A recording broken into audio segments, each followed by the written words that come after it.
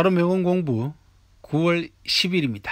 삼지 무려 종이 석장에 낙위는 없다라고 하는 아주 재미난 사자성어가 되겠습니다.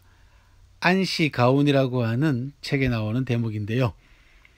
옛날에 재주가 아주 뛰어난 한 서생이 늘 자신의 유식함을 뽐내고 다녔다고 합니다.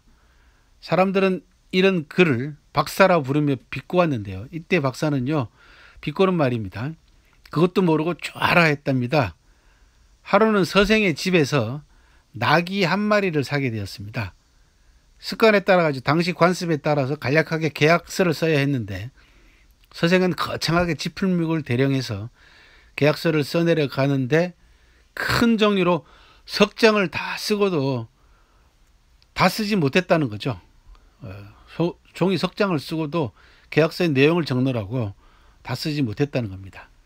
날은 저물고 나귀를 판 사람은 발을 동동 구르며 재촉을 했지만 서생은 글도 모르는 무식한 자가 뭐가 그리 급하고 급하다고 재촉하는가? 곧 나귀 엿자를 쓰려고 하는데 라고 했답니다.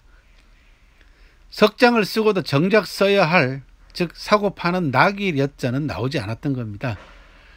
수나라 때 사람 안지추는요, 이 안시 가온에서 박사가 나귀를 사면서 종이 석장을 쓰고도 나귀 엿자가 없다네 라고 했답니다.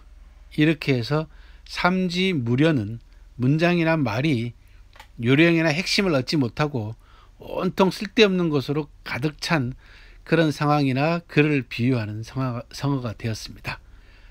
우리 주위에도 이런 지식인들 많습니다. 무슨 말 하는지도 모르고 잔뜩 말과 글을 늘어 놓았는데도 불구하고 사람들이 알아듣지를 못하는 그런 어설프게 공부한 그런 서생과 같은 이 이야기에 나오는 그런 서생과 같은 자들이 많습니다.